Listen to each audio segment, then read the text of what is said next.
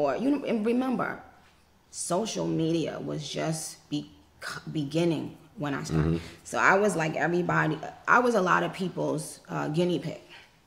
I was one of the first people to be shitted on on the on the internet on social media like non fucking stop every day i would go on and it was some new story made up story or a, you know bad picture or you know it wasn't acceptable to have um, surgery at all or anything even though and at that time I had never had surgery i had ass shots which till this day i realize even what I did, and even with me not consulting with anyone to do something like that, how insane that was.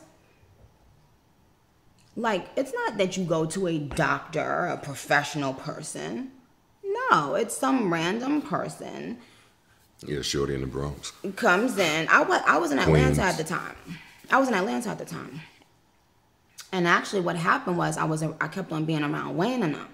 And at that time, you know, Wayne he always talking about big booties and or Wayne would have like a new chick in the studio every session. So it was always a new a new big booty, Creative support.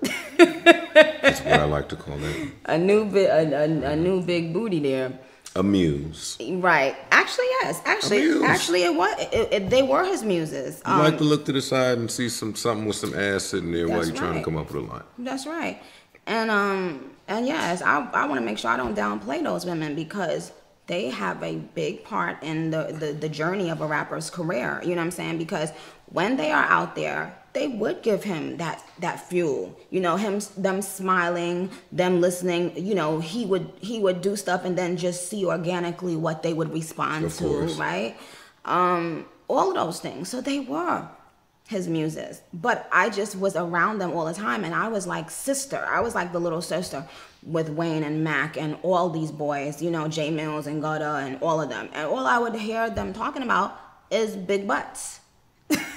and I didn't feel complete or good enough good as them as the other as those girls because I'm like, oh my god, you know, this is what you're supposed to look like in the in, in our in the rap culture, and I don't look like that.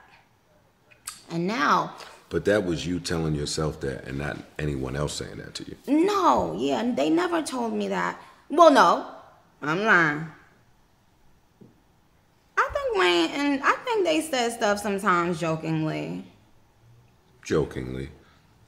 But to a young um, girl or up and coming rapper or anything like that, when it's from someone like Lil Wayne, it matters, you know. Like so, even if they're joking, they don't know that the person that is there in that room with them is not finding it funny.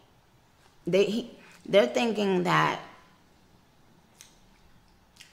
and and all and this ha- now now that I'm older, I understand.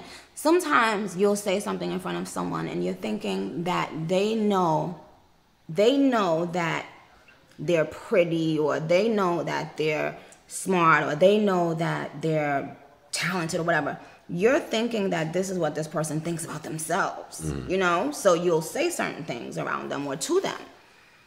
Um, but you, it, but a lot of times you don't know how insecure a person is or